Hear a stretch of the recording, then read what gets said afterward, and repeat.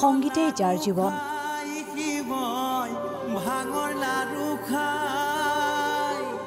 অসমৰ মাটিৰ পৰশেৰে উদ্ভাসিত গীত মাতসমূহক লৈ সততে পৰীক্ষা নিৰীক্ষা চলাই আহিছে মনোজ শৰ্মাই।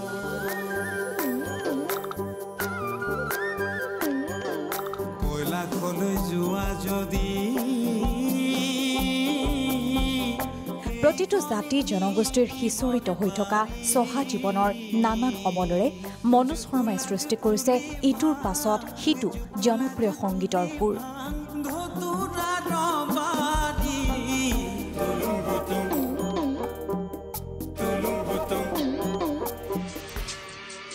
অকল সুৰেই নহয় আছেনে কোনোবা হিয়াত বন্ধনৰ দৰে বহু হিট ছবিৰ সংগীত পৰিচালনাও কৰিছে মনোজ শৰ্মাই।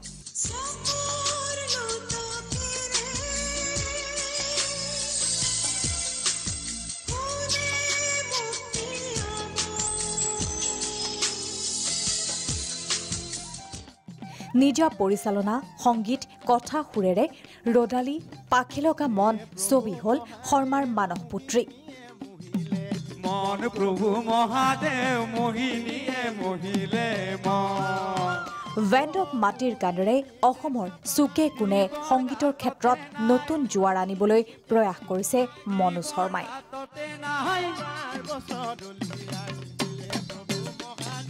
মোহিনীয়ে মহিলে মন প্ৰভু মহাদেৱ মোহিনীয়ে মহিলে মন। অসমৰে নহয় চুবুৰীয়া পশ্চিমবংগৰ বাউলক লৈও বিশেষ ব্যুৎপত্তি আছে শৰ্মাৰ। পীড়িতের কথা কেউ কইল না পীড়িতের কথা কেউ কইল না আরে কইল না ভাই কইল না পীড়িতের কথা জানে না। অসমৰ দৰে কলকাতাতো জনপ্ৰিয় শৰ্মাৰ সৃষ্টিৰাজি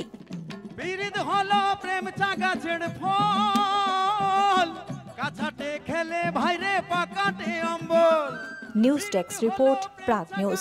ফল কাছাটে খেলে ভাইৰে পাকাটে অম্বল। মনোজ শৰ্মা মই তোমাক তুমি বুলিয়ে সম্বোধন কৰিছোঁ। তোমাক এই অনুষ্ঠানলৈ আদৰণি জনাইছোঁ।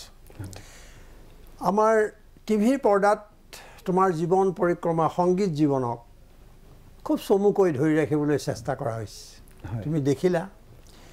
কিন্তু মই প্ৰথমে সুধিব খুজিছোঁ যে অসমৰ থলুৱা সংস্কৃতি গীত মাত এই সকলোবোৰকে তুমি এটা অন্য ৰূপ দিবলৈ চেষ্টা কৰিছা বা প্ৰয়াস কৰিছা।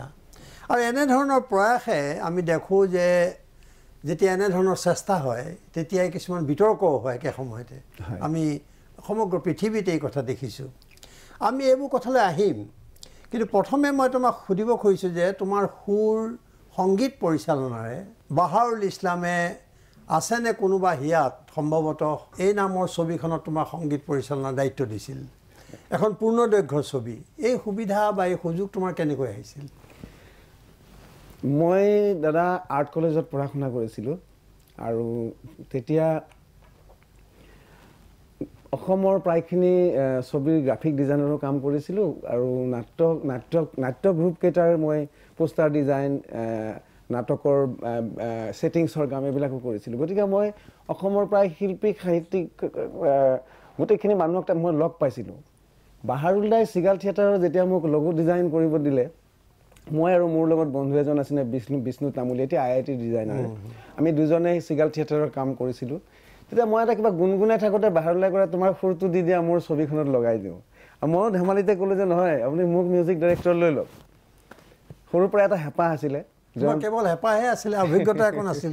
অভিজ্ঞতা মানে যেনেকৈ সকলোৱে গান গায় গান শিকে স্কুলত যায়।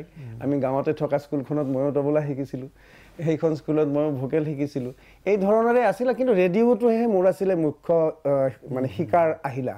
অন্য নাছিলে দেউতাই এটা তেতিয়া দিনতে ডাঙৰ ৰেডিঅ' কিনিছিলে। তাৰ পৰাই মোৰ যাত্ৰা আৰম্ভ হৈছিল মই তাতেহে শুনি শুনি কাৰণ গোটেই মডাৰ্ণ কামখিনি ৰেডিঅ'ৰ মাজেৰে হৈছিলে তেতিয়া। শিল্পীসকলতো একমাত্ৰ ভৰসা আছিল ৰেডিঅ'। সকলোৰে গতিকে তাৰ পৰাই যথেষ্ট সোণালী যুগ এটা। সোণালী যুগ। সেয়াই সংগীতৰ পিতৃ বুলিয়ে ক'ব লাগিব একফালে। তাৰপিছত তুমি কি কৰিলা? কেনেকৈ আহিলে তোমাৰ? তাৰপিছত মই ইণ্টাৰভিউ দিব গ'লোঁ। ইণ্টাৰভিউত মাতিলে কৈছে তুমি ইণ্টাৰভিউ দিব লাগিব। মই কৈছোঁ ঠিক আছে যাম। মই যেতিয়া কিন্তু গৈছোঁ মই ভবা নাই যে মোক তেওঁলোকে চিলেক্ট কৰিব। কাৰণ অলৰেডি তেওঁ কৈছে আৰু কোনোবা কোনোবা আহিব। তুমি অলপ দেৰিকৈ যাবা। মই বোলো হ'ব। মই পিছবেলা গ'লোঁ অলৰেডি বহু শিল্পীয়ে ইণ্টাৰভিউ দি গ'ল। আৰু সকলোকে দেখিছোঁ কোনোবাই কী বোৰ্ড লৈ আহিছে গীটাৰ লৈ আহিছে। মই খালী মানুহটো গৈছিলোঁ যে কথাই পাতিম আৰু ক'ত আৰু কি ইণ্টাৰভিউ দিম। কিন্তু মই অকণমান সুৰ চুৰ কৰি লৈ গৈছোঁ মন নিজকে প্ৰিপেয়াৰ কৰি গৈছোঁ। গৈ ইণ্টাৰভিউ বৰ্ডত দেখিলোঁ মই আদিল হুছেইন আছে। তেতিয়া আদিলে আদিল এন এছ ডিৰ পৰা কোন চনৰ কথা? এইটো দুহেজাৰ চনত। দুহেজাৰ আৰু ৰয়েল ষ্টেন বুলি যিজন নাট্যকাৰ তেওঁৰ মানে অথেলো নাটকৰ ডাইৰেক্টৰ আছিল তেওঁ আছে লগত ভাগীৰথী আছে।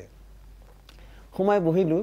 আদিলৰ লগত মই দিল্লীত তৃণাল বুলি এটা গোটেই পৃথিৱীৰ হেৰি হয় এখন এক্সিবিশ্যন হয়। তাত আদিলৰ লগত মোৰ এটা বন্ধুত্ব হৈছিলে ৰাতি গান চান গাইছিলোঁ দুই। সেইকাৰণে আদিলে মোক চিনি পালে আৰু। কৈছে হে মনোজ বহা বুলি কয়। ইণ্টাৰভিউ ক'লে কি লৈ আহিছে? মই বোলে একোতো অনা নাই। তে আদিলে মোক টেবুলখন আগুৱাই দিলে আৰু। কৈছে ইয়াতে মই তাতে এনেকৈ কিবা টেবুলতে বাজনা বজাই মই কিছুমান কম্পজিশ্যন শুনালোঁ। তাৰপিছত তাতে এটা মই এফেক্টছো শুনাইছিলোঁ এইটো কি তোমাৰ কম্পজিশ্যন এটা শুনোৱা। অঁ। প্ৰথম ওজাপালি ওজাপালিৰ ওপৰত এটা মই ওজাপালিটো আমাৰ এনেকুৱা এটা সাংঘাতিক বস্তু। পৃথিৱীৰ শ্ৰেষ্ঠ গীতৰ ভিতৰত মই কিন্তু নিজে গণ্য কৰোঁ যে ওজাপালিও তাৰ ভিতৰতে আহিব লাগে। ইমান সুন্দৰ লিৰিক্স আৰু ইমান গায়কীৰ মানে আকাশলংঘী মানে উৎস মানে হে ন ন ন ন ন ন দি ষ্টাৰ্ট হয় আহি আহি আহি আহি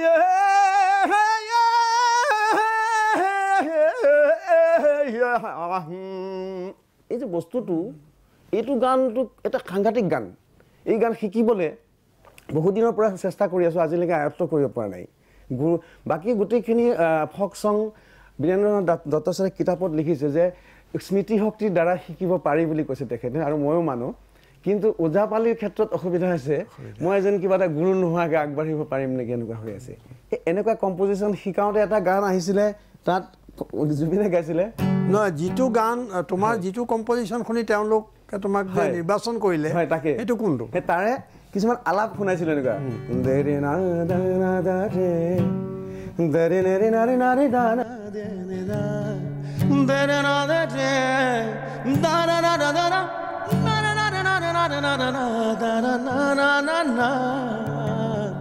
এইটো টাইটেল চংটোৰ আলাপ শুনিছিলে এইখিনি খুব ভাল পালে পাই পেলাই তেতিয়া সেই টাইটেল চংটো মই কৰিলোঁ তুমি তেতিয়া গম পালা নেকি তেওঁলোকৰ মুখমণ্ডলৰ নাই, মই গম পোৱা নাই। যে ময়ে পাম? নাই পোৱা। মোক কৈছে যে তোমাক এতিয়া আমি একো নকওঁ বাহাৰুল্লাই খবৰ দিব। আৰু বাহাৰুল্লাই মোক ক'লে যে সাত দিন পিছতহে তোমাক জনাম। সাত দিন এটা মানে হেৰি চলি আছে। মই ঘৰত গুচি আহিলোঁ। ৰাতি ভাবিছি মানে বাহাৰুলদাৰ বৌ আৰু বাহাৰুলদাই ৰাতি এটা হেৰি লৈ আহিছে মানে আইচক্ৰীম লৈ আহিছে। তেতিয়া মই ইমান আইচক্ৰীম যে পেকেটত পাইছে ইমান গমেই নাপাওঁ ইমান কথাবিলাক। কৈছে এইটো খোৱা আৰু বেয়া নাপাবা তোমাক চিলেক্ট নকৰিলে। মই ইজিলি ল'লোঁ আৰু হ'ব আৰু একো নাই আৰু বাহাৰুলদা তাৰপিছত থাপ মাৰি ধৰিলে ক'লে "এই, এনেই কৈছোঁ বোলো। তোমাক তোমাক চিলেক্ট কৰিছে তুমি গান কৰা এনেকুৱা আৰু তুমি ভালকৈ ইনভল্ভ হৈ পেলাই কৰা। এই ধৰণে এটা ডাঙৰ সুযোগ আহিল তোমাৰ। সুযোগ এটা আহিছিলে। আচ্ছা চকু লোটকেৰে কোনে মোক তিয়াব। আছেনে কোনোবা হিয়াত? হয়। এইটো খুব জনপ্ৰিয় গীত। জনপ্ৰিয় মই শুনিছোঁ। গীতটোত তুমি মিউজিক কেনেদৰে পৰিকল্পনা কৰিছিলা? মই এই গানটো যেতিয়া কৰিম টাইটেল চংটো মোক ক'লে যে একদম অসমীয়া লোকগীতৰ নিচিনা এটা টাইটেল চং কৰি দিয়া তুমি মোক এনেকৈ ক'লে। আৰু মই ষ্টৰি টৰি গোটেই বুজালে শুনালে। শুনাৰ পিছত মই তেতিয়া টোকাৰী গীতৰ খুব ভক্ত আছিলোঁ সেইখিনি সময়ত। বিপুল চেতিয়া ফুকন তাৰপিছত আমাৰ আমাৰ কাহিলীপাৰা দাদা সেইসকলৰ টোকাৰী গান মই শুনো। এইবিলাক গান তেওঁলোকৰ কেছেট খুব বিক্ৰী হয় তেতিয়া কেছেটত ওলায়। ঐ ৰাম ৰাম ঐ মাৱে মোক এৰিলে। ঐ ঐ দেউতাই মোক এৰিলে এৰিলে মৰমৰ চুমা ঐ বজাৰলৈ আনি মাৱে মোক বেচিলে দলনিত মেলিলে পোনা।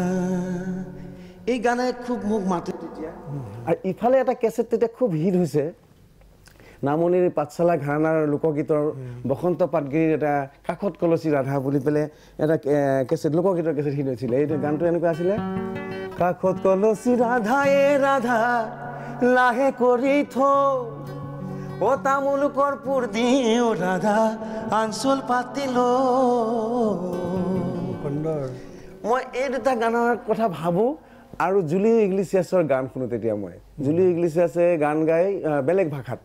ইংৰাজী ভাষাত তেতিয়ালৈকে তেওঁ গান গোৱা নাই। স্পেনিছ ভাষাত গাই এনেকুৱা ধৰণৰ ভাষা। মই বুজি নাপাওঁ কি কি গায়। সোমা চাফা চিৰি চাফাৰি চুৰু চাৰা চিৰি চাৰা চিপা চুৰু চিৰি এনেকুৱা ধৰণৰ গায়। মই আজিও নাজানো কি ভাষাত গায়। তো এই গানটো মই বিৰাট ভাল লাগে। মই বোলো ইমান এটা দুখ পাওঁ গানটোত তেখেতৰ গানত ইমান চফ্ট তাৰপিছত মই হঠাৎ ভাবিলোঁ গোটেইবিলাকক সানি পিটিকি যদি এনেকুৱা হ'ব পাৰে নেকি এটা গান। এইটোৱে নেকি? চকুৰ লোতকেৰে কোনে মোক তিয়াব আছেনে কোনোবা হিয়া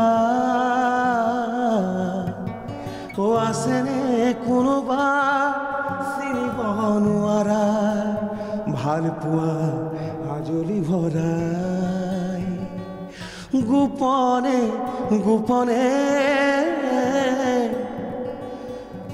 গোপনে গোপনে আহিছে কাষলে। হিয়া মোৰ ঘৰলৈ সোমাই। নিবিৰি মৰমতে আঁকিছে বুকুতে। ভালো পোৱা দিব উপচাই। পাৰোনে নোৱাৰো আজি মই। সাঁতুৰি যাবলে জীয়ানো ফুলে ফুলে আজি সুবাস নাই। ঘনে ঘনে মন দহি যায়। নিজান ঘৰতে মই অকলে অকলে ৰিণিকি ৰিণিকি তুমি গানে গানে ৰুইছো পদূলি।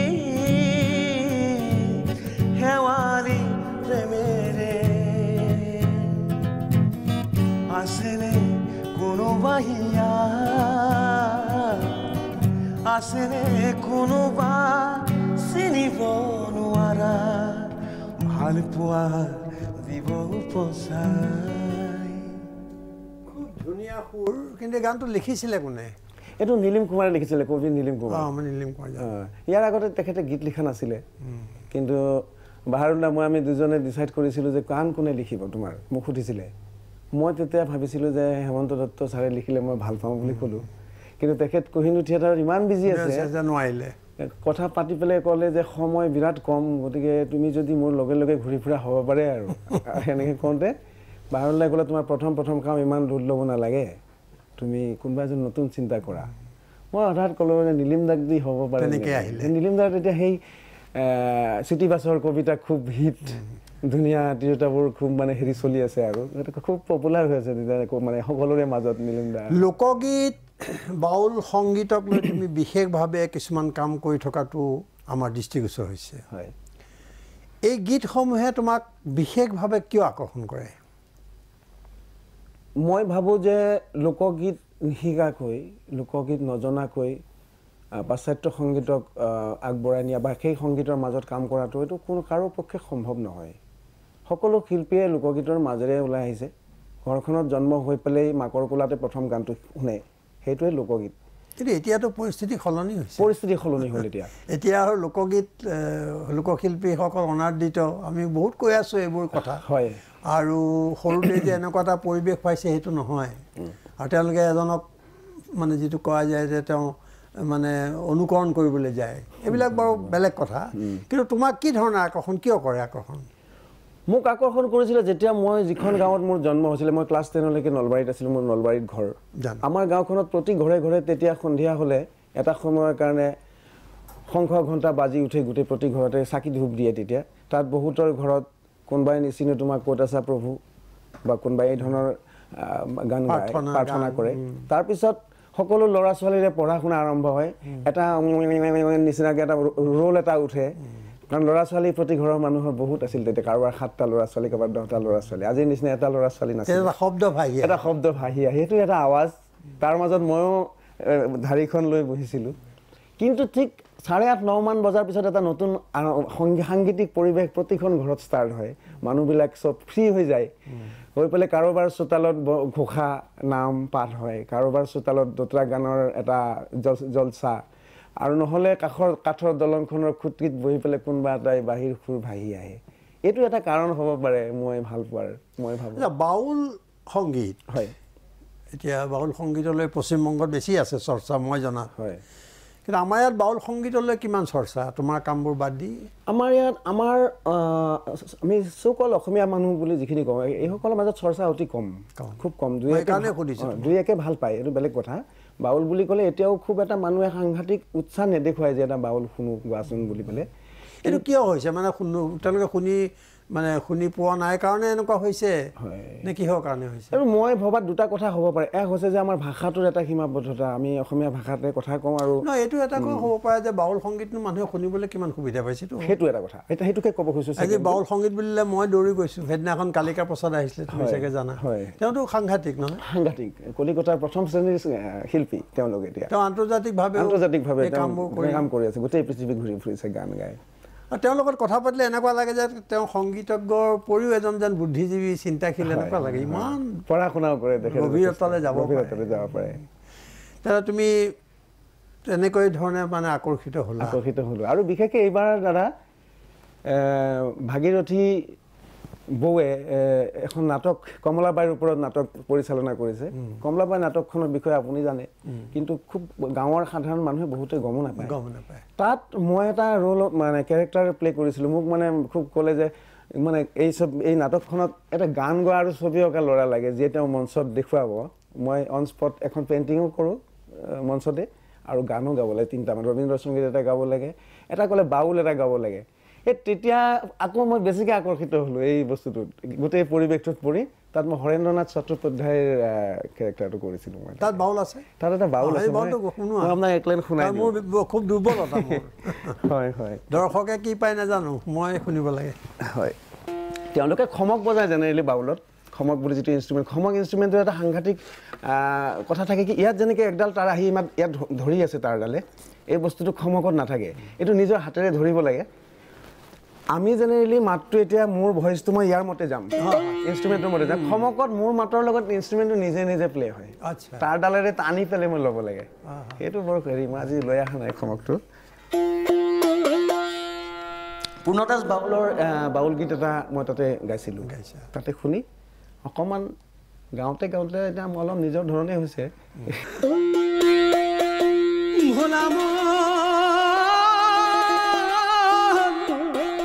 ভোলা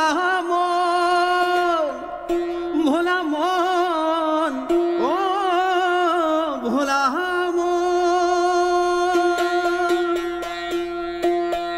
পীড়িতের কথা কেউ কইল না,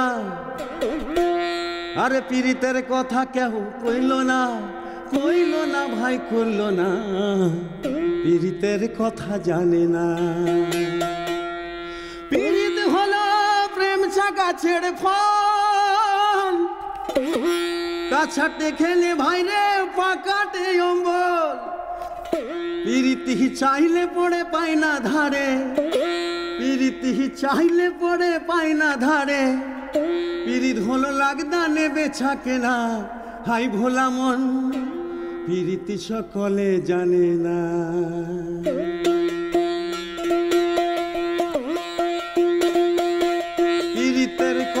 কেউ কইল না, আরে কইল না ভাই পীড়িতের কথা জানে না। পীড়িতি হলো প্রেম ছাগা ছেড়ে ফল। কাছাতে খেলে ভাইরে পাকাতে অম্ব পীড়িত হলো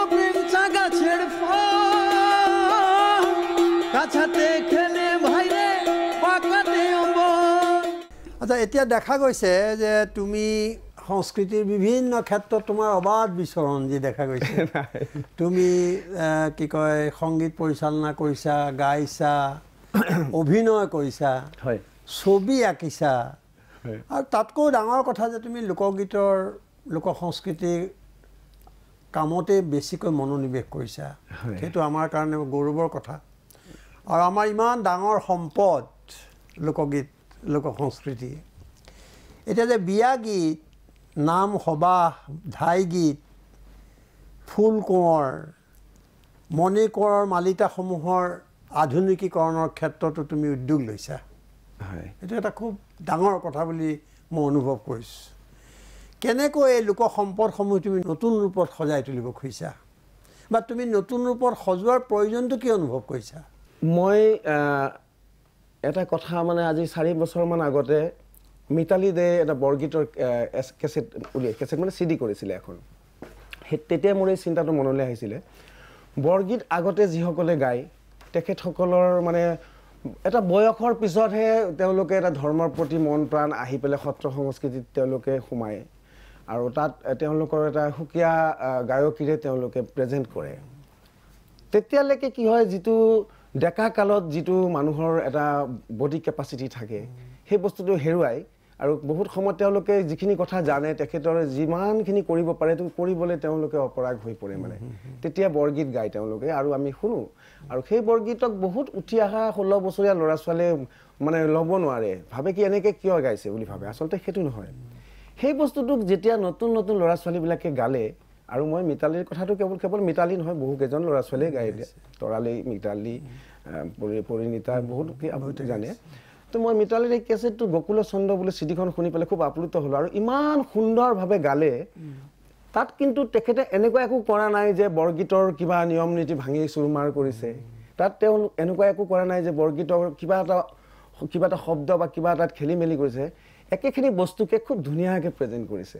আৰু এটা নতুনত্ব আহিছে আনিছে ৰেকৰ্ডিং ষ্টাইল মানে ছিষ্টেমটোত কাৰণ আগতে মনো ৰেকৰ্ডিং হৈছিলে।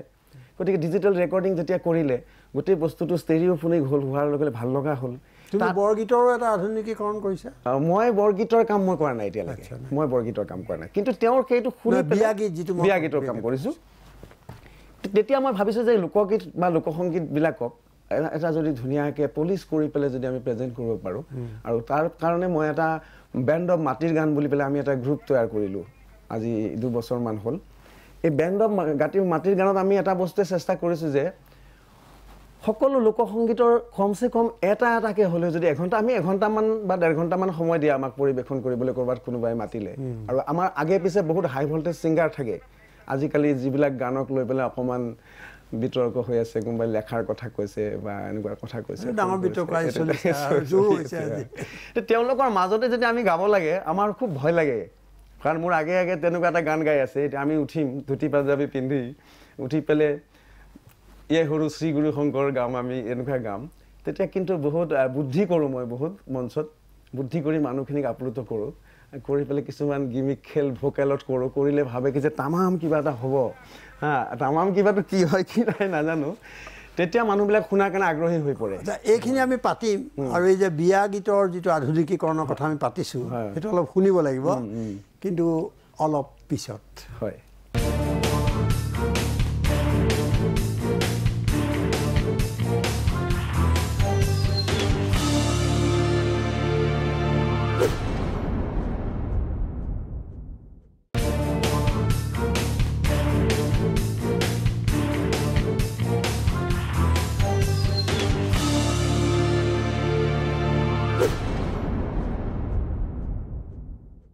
লোক সম্পদসমূহ নতুন ৰূপত সজাই তোলাৰ বিষয়ে আমি পাতিছোঁ। আমি তুমি ক'লা যে এইটো কি ধৰণে কৰিছা বা কেনেকৈ আহিছে মনলৈ। এতিয়া বিয়া গীতৰ কথা কৈছিলোঁ তেতিয়াই মই। যে অলপ বিয়া গীত যদিও বা নাৰী কণ্ঠত বেছি খাপ খাই পৰে হয়। তথাপি তুমি অলপ অকণমান শুনাই দিবা নেকি বিয়া গীত? কলহে কলহে ঢালে যমুনারে জল যমুনারে জল। এই ধৰণৰ সুৰ এটাতে নীলিম দাই লিখিছিলে চিকিমিকি তৰাৰ চাকি আকাশে বতাহে আকাশে বতাহে।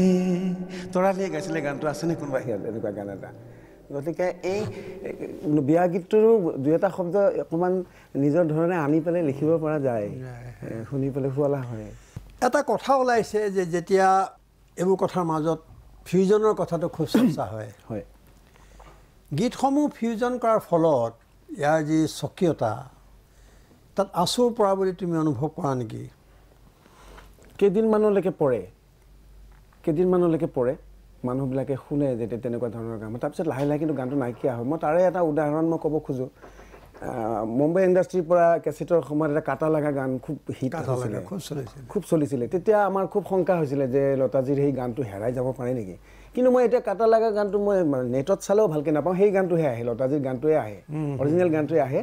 আৰু মই কেতিয়াবা ক'ৰবাত ক'ৰবাত আমাৰ অসমৰ ছোৱালীয়ে গাইছে। অসমৰ ছোৱালী শাশ্বতী বয়ে গাইছিলে বহুত ধুনীয়া গাইছিলে মই সেইটো কোৱা নাই। অলপতে আমাৰ ইয়াত পাৰফৰ্ম কৰি খুব ভাল কাম কৰিছে ধ্ৰুৱদাই সাংঘাতিক কাম কৰিছে। মই। কৈছোঁ যে বস্তু ছিষ্টেমটো কিন্তু অৰিজিনেল গানটোহে আহে মাৰি দিলে কিন্তু।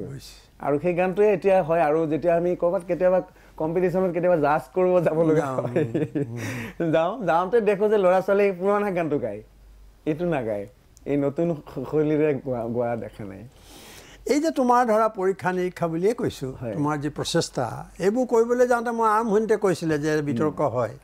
তুমি ক'ৰবাত বাধা পাইছা নেকি? ক'ৰবাত বিতৰ্ক হৈছে নেকি এইবোৰ কথা লৈ তোমাৰ বেলেগ ধৰণৰ বাধা পোৱা নাই। বা বিতৰ্ক হৈছে নেকি? বিতৰ্ক মানে এটা গান মই এবাৰ মহোহৰ গান এটা কৰিছিলোঁ। মহোহৰ গানটো মই যেনে আছে তেনেই কৰিছিলোঁ খুব ধুনীয়াকৈ। কৰি পেলাই তাৰ ভিডিঅ' কৰিলে এজন কৰিঅ'গ্ৰাফাৰে ভিডিঅ'টো মই কৰা নাছিলোঁ। আৰু মই খবৰ ল'ব যাওঁতে মোকো এবাৰ উলিয়াই দিছিলে মই ধূনা চুনা লৈ কিবা এনেকৈ। দিওঁতে তাৰপিছত টিভিবিলাকে মোক কোনোবাই কোনোবাই ফোন কৰি সুধিলে ইমান ধুনীয়া গানটো এনেকুৱা কিয় হ'ল? মানে এজাক ছোৱালীয়ে অলপ চুটি কাপোৰ চাপোৰ পিন্ধি নাচিছিলে। তাৰপিছত মই ক'লোঁ যে এইটো ভিডিঅ'টো ভাল হোৱা নাই মই স্বীকাৰ কৰোঁ। হয়তো অফ কৰি থওক আৰু বেলেগ কথা কৰিব নালাগে। গানটো কিন্তু প্ৰায় বন্ধ হৈ থাকিল তেতিয়া। মই হাক দিলোঁ বজাবলৈ। এতিয়া মোক সুধিছিলে আমি বজাম নে কি কৰিম? গানটো কিন্তু এনেকুৱা হৈছে বুলি ক'লে। মানে গানটো বৰ ধুনীয়া হৈছে। মহ গানটোক তাৰমানে মই অকণমান কোৱাচোন। মহ মহ খেদা মহ খেদা গানটো মখেদ বা তাকানলো এই গানটোত মানে যিটো আমি মাটিত যে এডালেৰে বজাই বজাই গায় এইটো পেটাৰ্ণে মই ৰাখিছিলোঁ মানে গানটো তাৰ লগত খালি কৰ্ড ইউজ কৰিছিলোঁ গীটাৰৰ গীটাৰৰ। এনেকুৱা পেটাৰ্ণত কৰিছিলোঁ মই। অ' মহ মখেদ বা তাকানলো মহে বোলে মল্লুৰে দেপল পুৰা খালুৰে অহ মহ মখেদ বা তাকানলো ও হৰি ও ৰাম ও ও গৰু চৰু বাৰক ভাল ভুল কাষে বাক লেকিন শক্তিমত্ত কৰক ও হৰি ও ৰাম অকণমান সুৰত আনি পেলাই কৰিছিলোঁ গানটো। গানটো লৈ কিন্তু মোক কোনে একো কোৱা নাই কৈছে বহুত ধুনীয়া হৈছে সেই ধৰণৰ অকণ অলপ বাধাৰ বাহিৰে তেনেকুৱা ডাঙৰ একো বাধা বা বাধা। বিতৰ্ক তেনেকে মই পোৱা নাই। আৰু মই কৰাও নাই দাদা সঁচা কথা মই তেনেকুৱা। মই যিখিনি কাম কৰি আছোঁ মই কেতিয়াও এনেকুৱা নিবিচাৰোঁ যে কোনোবা এজন কবিয়ে এটা কবিতা লিখিছে মই পাঠ কৰিব নোৱাৰিলেও যিহকে পাওঁ তিহকে পাঠ কৰি যাম। কোনোবা এজন গীতিকাৰে গান লিখিছে হিন্দী ভাষাত আৰু কোনোবা এটা ল'ৰাই সেইটো গাই আছে ইয়াতে মই ভাষাটো নাজানিলেও মই ওৰে ৰাতি হিন্দী গান গাই থাকিম। মই হিন্দী গান গোৱাই নাই মঞ্চত আজিলৈকে এইকাৰণে নাগাওঁ। ঘৰত গাওঁ কিন্তু মঞ্চত। মঞ্চত গোৱা নাই। এইটো এটা বৰ ডাঙৰ কথা। আজি। হিন্দী গান গোৱালৈ যিটো হুলস্থুল। হৈছে মই গোৱা নাই। তাৰ মাজত তুমি এইটো ৰক্ষা কৰিছোঁ। ধন্যবাদ। আচ্ছা বহুতে হয়তো নাজানে কিন্তু মই এটা জানো যে তোমাৰ এটা গীতৰ ৰেকৰ্ডিং হৈছিলে। মুম্বাইত। হয়। আৰু সেই ৰেকৰ্ডিঙৰ কাৰণে জুবিন গাৰ্গে বলিউডৰ এখন ছবিত গীত গোৱাৰ পৰা বঞ্চিত হৈছিলে। হয়। গোটেই কাহিনীটো এই মুহূৰ্তত অলপ দৰ্শকে জানিব খুজিব স্বাভাৱিকতে। জুবিন গাৰ্গে ৰেকৰ্ডিং কৰাৰ সুযোগ নাপালে তোমাৰ গান ৰেকৰ্ডিং চলি থাকিলে স্বাভাৱিকতে এটা খবৰ ডাঙৰ। মোৰ এতিয়াও মনত দুখ লাগে। জুবিনে কিজানি এতিয়ালৈকে ভবাই নাই যে ঘটনাটো কি হৈছিলে আচলতে। আচ্ছা। কাৰণ কিয় মোৰ গানটোত ইমান ইনভলভ হৈ আছিলে জুবিনে এই কথাটো নাভাবিলে যে একো নাই গান এটা গাব লাগে এটা গালেই হ'ল যিটো গালো এনেকুৱা নিচিনাকৈ ভাবি থৈছে। আজিও জুবিনে হয়তো নাজানে যে কি হৈছিলে ঘটনাটো কিন্তু মই আজি জানিব। আজি জানিব আজি জানিব। ইমান মৰম কিয় লাগে এটা গান কৰা হ'ল। অলৰেডি গান কৰা হৈ গ'ল। মই গোটেইকেইটা গানে বম্বেত কৰিছিলোঁ তেতিয়া। আৰু কেছেটত আঠটা গান লাগে কাৰণে দুটা গান গুৱাহাটীত কৰিলোঁ পিছত। তো অলক দাই ক'লে যে মই এটা এনেকুৱা গান কৰি দিয়া তুমি যিটো গানেৰে মই নেক্সট ছবিখন কৰিব পাৰিম। তো মই ক'লোঁ যে তেজীমলা কৰক আপুনি। তেজীমলা ছবি কৰিলে বৰ বঢ়িয়া লাগিব। আৰু অলক নাথো কেনেকুৱা মানুহজন মই যেতিয়া পাওঁ তেতিয়া। বৰ শিল্পী শিল্প সাহিত্য কলা ভাল পোৱা মানুহ। গতিকে খুব ফ্ৰীডম দিছে কামত। কৈছে বঢ়িয়া কৰা তুমি চাওঁ তোমাৰ গান ভাল হ'লেহে মই চিনেমা কৰিম এনেকৈ কৈছে। মই তেজীমলালৈ গান এটা কৰিলোঁ। দুই লাইনমান মই লিখাৰ পিছত মই মানে নোৱাৰিলোঁ লিখিব। তেতিয়া গৌতম শৰ্মাই গান লিখা আগতেও গান লিখিছে। গৌতম শৰ্মা মানে আমাৰ সাংবাদিক সাংবাদিক গৌতম শৰ্মা। গায়ক গায়কো, গীতিকাৰো। গৌতমক মাতি পেলাই মই ক'লোঁ যে মোক এনেকুৱা এটা এটা গান লিখি দিব লাগে। গৌতমক মই আকৌ তাৰ আগত শ্বেৰদাৰ শ্বেৰ চৌধুৰীৰ প্ৰায় ছবিবিলাকৰ লগত মই জড়িত আছিলোঁ। শ্বেৰদাৰ আহ, সেইখন ছবি আছিলে মষ্ট প্ৰব্লি মৎস্যগন্ধা আছিলে। মৎস্যগন্ধাৰ মিউজিক এৰেঞ্জ কৰিছিলোঁ মই। শ্বেৰদাৰ মিউজিক ডাইৰেক্টৰ আছিলে। তেতিয়া গৌতমে আহি বিহু তাত বিহু বিহু বনঘোষা কিবা এটা সংগ্ৰহ কৰি দিয়াৰ কাৰণে গৌতমক দায়িত্ব দিছিলে শ্বেৰদাই। সেই চিনাকিৰে মই তেজীমলা লিখিব দিলোঁ। গৌতমে মোৰ সুৰটো শুনিলে অকণমান মোৰ ৰুমত গুৱাহাটী ক্লাবতে তাতে বহিলে। বহি পেলাই গানটো পকেটত ভৰাই মই লিখাখিনি লৈ গুচি গ'ল। কৈছে তোমাক মই সন্ধিয়া দিলে হ'ব নেকি? মই বোলে হ'ব কালি দিলেও হ'ব। হ'ব। সঁচাকৈ সন্ধিয়া আহি পেলাই দি থৈ গৈছে তাতে। মোৰ তেতিয়া এটা মই ডিজাইনৰ কাম কৰা এটা অফিচ আছিলে তেতিয়া। পঢ়ি চালোঁ ইমান ধুনীয়া লাগিল। মই খালি কৈছিলোঁ যে গোটেই মানে কাহিনীটো যাতে তেজীমলাৰ হেৰাই নাযায় গানটোৰ পৰা। সেই সেই বস্তুটো। আৰু এই গানটো গোৱাৰ আছে জুবিনৰ কথাটো আমি এৰি থৈছোঁ। তেওঁ ৰেকৰ্ডিং গান ৰেকৰ্ডিং আৰম্ভ হ'ল। ৰাজগড়ৰ ষ্টুডিঅ'ত আমি গান ৰেকৰ্ডিং কৰি আছোঁ। জেপিদাও আছিলে সেইদিনা। জুবিনে গাবলৈ আহিল। আহি পেলাই গানটো গাবলৈ ওলাই স্কেলটো খুব হাই ক'লে গালি পাৰিলে মোক আৰু ইমান এনেকৈ গান কৰে নেকি বোলে? তই গাই দেখাই দেচোন মোক কৈছে। মই ভয়ে ভয়ে গাই দিলোঁ আৰু। গাওঁতে কেনিবাকৈ গাব পাৰিলোঁ। তেতিয়া হাঁহিলে আৰু হাঁহি পেলাই পিঠিত থপৰাই মোক ক'লে যে মই কালি বম্বেত কালি বম্বেত গাম গানটো। তুমি মোৰ লগত ব'লা তাতে গানটো কৰোঁ। মই বোলে হ'ব বুলি কৈ মই জুবিনৰ লগত বম্বে জুবিনৰ লগত নগ'লোঁ কিজানি মুঠতে আগে পিছে গুচি গ'লোঁ আৰু। গৈ যিদিনা গান ৰেকৰ্ডিং চলি আছে মাইনাদাৰ ষ্টুডিঅ'ত যতীন শৰ্মা আমাৰ মিউজিক ডাইৰেক্টৰ তেওঁৰ ষ্টুডিঅ'ত আমি সন্ধিয়া সোমাইছোঁ ষ্টুডিঅ'ত গানটো জুবিনে মানে খুব ভাল পালে। পাই পেলাই প্ৰথমবাৰ গালে ধুনীয়াকৈ। গাই পেলাই অলপমান চাহ তাহ খাই তাৰপিছত ক'লে আকৌ গাম বোলে আকৌ গালে। মানে ওৰে ৰাতি গানটো গায়ে থাকিলে। নিজে কীবৰ্ডখন আনি পেলাই কিবা এটা বেকিঙো বজালে মাজতে। বজাওঁতে বজাওঁতে পূৰা ছটা বাজি গ'ল। গান শেষ হওঁতে আমাৰ। আমাৰ গান বাৰটা এটাত হৈ গৈছিলে। ছটা বাজি গ'লতো আমি শুই গ'লোঁ তাত। এনেতে মানে মাইনাদাৰ তাত ফোন আহিছে। ৰাকেশ ৰোশনহঁতৰ পৰিয়ালৰ পৰা মানে। দেউতাকে ফোন কৰিছে যে কিয় জুবিন গাৰ্গ কিয় আহি পোৱা নাই গান গাবৰ কাৰণে? মাইনাদাই মোক ফোন কৰিছে তুমি ইমিডিয়েট জুবিনক তুলি দিয়া আৰু তাত যাব দিয়া। মই তুলি দিলোঁ। জুবিনে ৰাতিপুৱা নটাত টাইম দি থৈছিলে গীত ৰেকৰ্ডিঙৰ কাৰণে তেতিয়া। ইয়াতে সোমাই আছে। ইয়াতে সোমাই আছে। উঠাই দিছোঁ জুবিনৰ টোপনি নাভাঙেহে নাভাঙে নাভাঙেহে নাভাঙে। এটা মনোজ চন্দা বুলি একে নামৰ ল'ৰা আছিলে। তাক মইতো ইমান বম্বেৰ হালজাল বুজি নাপাওঁ। সেই মনোজক কৈ পেলাই মই ক'লোঁ যে তুমি যেনে তেনে জুবিনক লৈ গ'ল। যাওঁতে জুবিনে সেই গাড়ীখনতে টোপনিয়াই টোপনিয়াই গৈ পেলাই পাইছে। মনোজে কোৱা কথা মাকে হেনো ৰখি আছে কৈছে যে তই মানে কি টাইম কিয় নিজে টাইম দিছ টাইম কিয় মেইনটেইন নকৰিলি এনেকুৱা। তাৰপিছত জুবিনে গানটো গোৱা নহ'ল কিজানি আৰু পিছত গোৱা গান নে গ'ল। নে নেকি বৰ ভিতৰুৱা সেই কথাখিনি মই ভালকৈ নাজানো। কিন্তু মুঠতে এই গানটোৰ কাৰণে সেই গান এই গানটো গোৱা নহ'ল বুলি মোৰ ধাৰণা হয় কাৰণ নহ'লে হয়তো ধুনীয়াকৈ গাব পাৰিলে হয়। তাৰপিছত তাৰ নেক্সট ছবিতে তেওঁলোকৰ গান গাইছে। গাইছে গাইছে। আৰু বহুকেইখন ক্ৰিছ ত্ৰিছতো গালে। আচ্ছা এই এটা হাই স্কেলৰ গীত। হাই স্কেলৰ গীত, খুব। তেজীমলা কোটে আছা। হয়, হয়। এইটো একেকোবে তেওঁ পাৰিছিল নি ৰেকৰ্ডিং কৰিব? গাইছে গাইছে।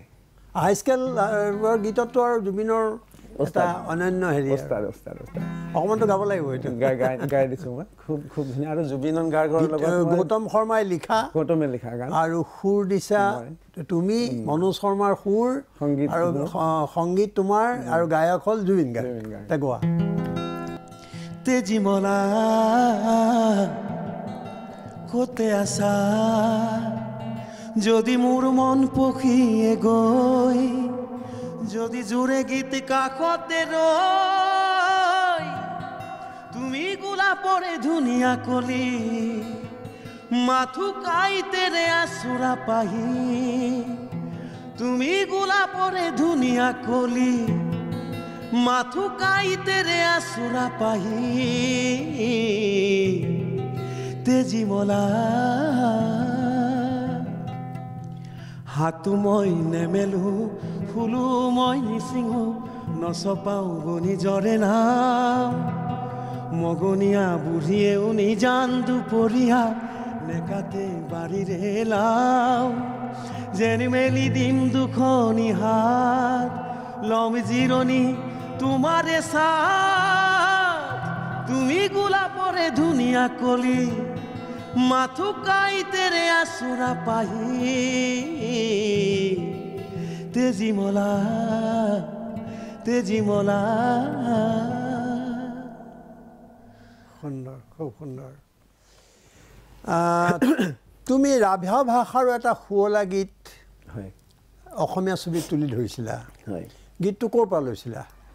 মই সেই কেইদিনমান এই চিংৰা বকু এইবিলাক অঞ্চলত কিবা কিবি কামত থাকোঁতেই এই ৰাভা জনগোষ্ঠীৰ বহুবিলাক গানৰ মাজত সোমাই পৰিছিলোঁ কেইদিনমানৰ কাৰণে। তেতিয়া মই এখন ভিডিঅ' ফিল্ম মই ডাইৰেকশ্যনৰ কাম কৰিম বুলি হাতত লৈছিলোঁ। যে কাম শিকিবৰ কাৰণে এখন মই প্ৰথমতে ভিডিঅ' ফিল্ম কৰি চাওঁ কেনেকুৱা লাগে। তাৰপিছত এই ফিল্মখনৰ নাম আছিলে পাখি লগা মন। তাৰপিছত তাৰে ষ্টৰিটো ষ্টৰি কাহিনী চিত্ৰনাট্য সংলাপ ডাইৰেকশ্যন গোটেইখিনি মই কৰিছিলোঁ। যিটো কাম কৰিব নাপায় আচলতে? বহুতে খং প্ৰতিভা কৰে। কিন্তু মই কৰিছিলোঁ এইকাৰণে দাদা যে মই নিজে কৰি চাওঁচোন কি কৰিব পাৰোঁ। মোৰ এইখন এখন পৰীক্ষা প্ৰশ্ন কাকত বুলি মই ধৰি লওঁ। কিন্তু তুমিতো সফল হৈছা সকলো দিশত। হ'ব পাৰোঁ নাজানো। আপোনালোকৰ টিভিত বাজি থাকে কিন্তু ফিল্মখন দি থাকে।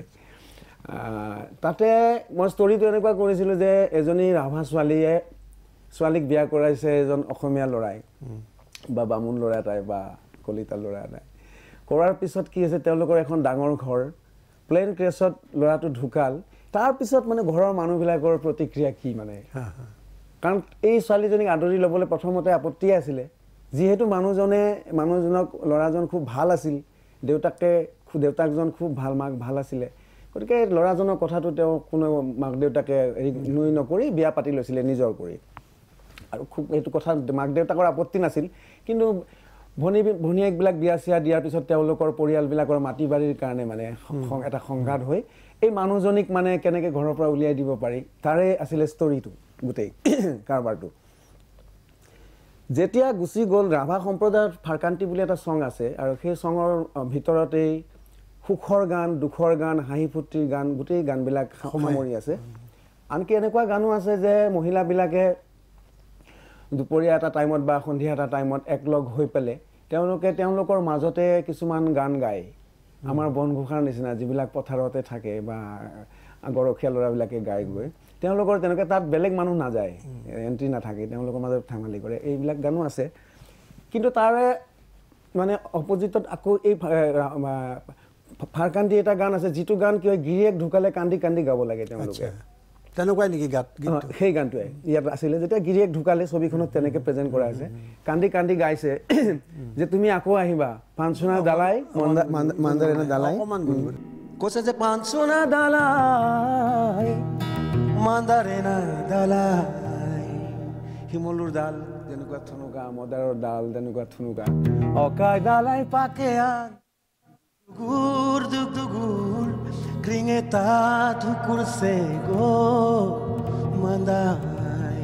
ইমান থুনুকা ডালত পৰি চৰাই যেতিয়া কৰে যদি ডাল ভাঙি পৰি যায় তেতিয়া মোৰ মনটো বেয়া লাগিব। তুমি আকৌ যেতিয়া আহিবা ঘূৰি আকাশৰ পৰা তুমি যেনেকুৱা আছিলা তেনেকৈ ঘূৰি আহিবা। চৰাই হৈ নাহিবা কোনোবাই মাৰিব ডাল ডাল ভাঙি পৰিব এইবিলাক কথা কৈছে গানত। মই তেতিয়া ভাবিছিলোঁ যে এই গানটোক অকণমান যদি আমি সকলোৱে ভাল পোৱা কৰোঁ ভাষাটো চবে বুজি নাপায়। যদি আকাশত গুচি গ'ল তেওঁতো অসমীয়া মানুহ আছিলে তেওঁ যে অসমীয়া ভাষাত আকাশৰ পৰা কিবা কথা ক'ব পাৰে নেকি বুলি ভাবি মই আৰু পাঞ্চনা বুলি এজনী ছোৱালীক গাইছিলোঁ গান। তো আকাশৰ পৰা কৈছে কেঁচা সোণ বুকুৰে যামে গৈ কাষলে হেঁপাহৰ পাঞ্চৈ মেলিলো মেঘতে ডাৱৰৰ চেঁচাও জোনাকৰ দীপালি শিৰতে পিন্ধাম গৈ তৰাৰে কপালি জোনবাই দেখতে তৰালি উজলে হিয়াতে উজলে তোমাৰে মুখনি বিচাৰি ফুৰিছো তৰালি সাৱতি অ খেৰুক লেৱা ফানে ফানে মাৰো লেৱা ফানে Pansuna dalai, mandarina dalai. Okai dalai pakean, duk dugur, duk dugur, kringeta tukur se গ' মাদাই এনেবোৰ কথা ওলাইছে যেতিয়া আমি ভূপেন্দ্ৰাৰ কথাত লৈ আহিম হয়। অলপ পিছত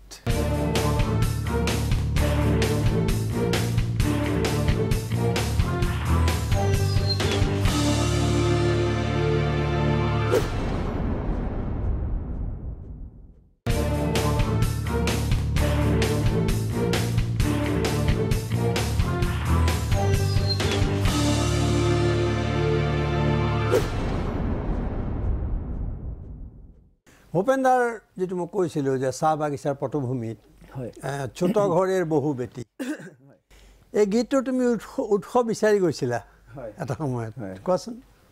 মই তাৰমানে মোৰ তৃতীয়খন ছবি আছিলে ফিচাৰ ফিল্ম আছিলে বন্ধন।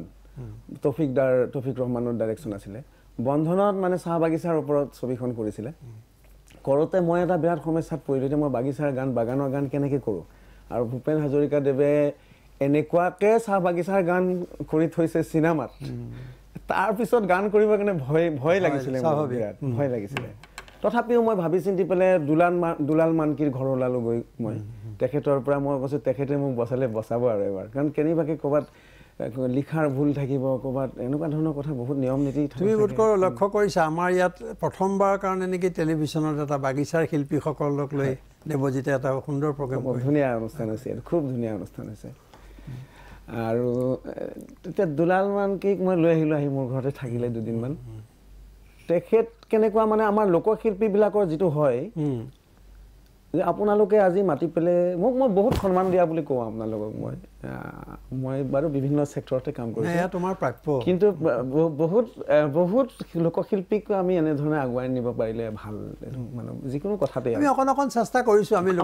ঢুলীয়াসকলৰ কাৰণে আমি সন্মানিত কৰিছোঁ। চেনেল ইয়াৰ কাৰণে একদম বহুত বহুত ওপৰত তেওঁলোকক সন্মানো দিছোঁ। আমি। মই বেলেগ ছেক্টৰতো কৈছোঁ। কোনোবাই যেতিয়া আমাৰ বিহু ফাংচন এখনত মাতে হয় হয়। মাতি পেলাই যে মানুহজনে ঢোলটো লৈ পিছে পিছে ঘূৰি থকাটো দেখিবলৈ ভাল নালাগে। আৰু লোকশিল্পীসকলক আনকি চৰকাৰী পেঞ্চন এটা দিয়াৰ ক্ষেত্ৰতে কিমান অনীহা? এইবোৰ বহুত কথা। এতিয়া কোৱাচোন এই কথাটো কোৱা গীতৰ উৎস বিচাৰি যোৱা। দুলাল দাই মোক ক'লে যে চিনেমাৰ গানটো এইবিলাক কিয় মই ৰাগ গাব নোৱাৰোঁ নেকি এনে ক'লে। তেখেতে ৰাগো শিকে। মই কৈছোঁ আৰু আপুনি ৰাগো গায় নেকি? গাওকচোন কিবা এটা ৰাগ এটা গালে। গাওঁতে মই দেখিলোঁ যে মই যিটো গানৰ টিউন কৰিছোঁ এই টিউনটো অকণমান দেশ ৰাগৰ দেশ ভূপালী এইবিলাকৰ লগত মানে মিল আছে আৰু।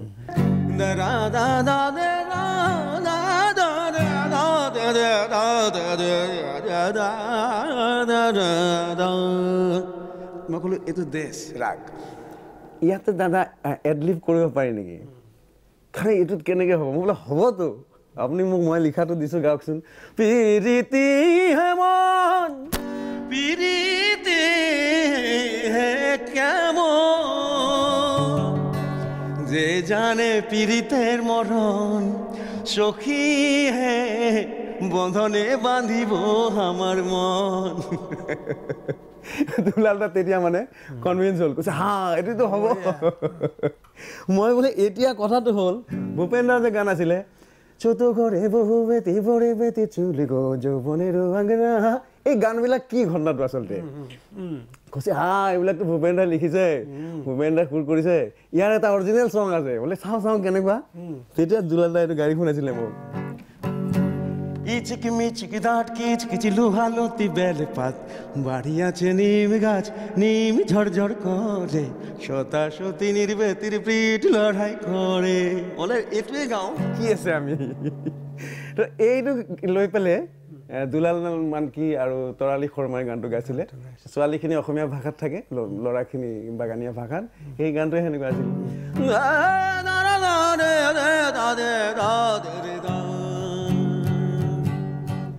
ইচিকি মিচিকি দাঁট কিচ কিচি লুহালতি বেলপাত বাড়ি আছে নিম গাছ নিম ঝরঝর করে শ্রোতা সতী নির্বেতির প্রীতি লড়াই করে। ও তোমারে মরমতে মোর শীত লরে তোমারে মরমতে মোর চিট লৰে ছোৱালীজনী সুধিছে কাকৰানো কুচিয়া? ল'ৰাটোৱে কৈছে কুচিয়া? এই ধৰণৰ ধেমালি আছিলে গানটোত। তোমাৰ আধুনিক যিবিলাক বাদ্যযন্ত্ৰ হয়। তাৰ লগতে থলুৱাভাৱে নিৰ্মিত বাদ্যযন্ত্ৰও দেখিছোঁ। অৱশ্যে তুমি আজি অহাৰ আগতে আমি কৈছিলোঁ তোমাক যে তুমি ইমান পৰা দুই এটা বাদ্যযন্ত্ৰ লৈ আনিবা। তুমি আমাৰ অনুৰোধ ৰক্ষাকৈ আনিছা। কিন্তু ননা হ'লে কিন্তু আজি আমাৰ অনুষ্ঠানটো আধৰুৱা। এতিয়া এইবোৰ তুমি নিজে তৈয়াৰ কৰিছা নেকি? এই যে ধৰা এই টোকাৰী টোকাৰী। গালা। এইবিলাক মই নিজে তৈয়াৰ কৰিছোঁ। নিজে মানে কেনেকুৱা বজাৰত কিনিবলৈ পায় তাত মানে এই ধুনীয়া এই চাউণ্ডটো নাপাওঁ। আপুনি এটা চাউণ্ড লক্ষ্য কৰিব।